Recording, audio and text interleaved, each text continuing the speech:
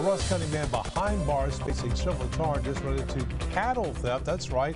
Now, according to the Texas Cattle Raiser Association, last fall, special agents showed up to Charles Robinson's door, arresting him for reportedly stealing almost 200 animals in Shelby County in Smith and Upshur. If convicted, he could face decades in prison.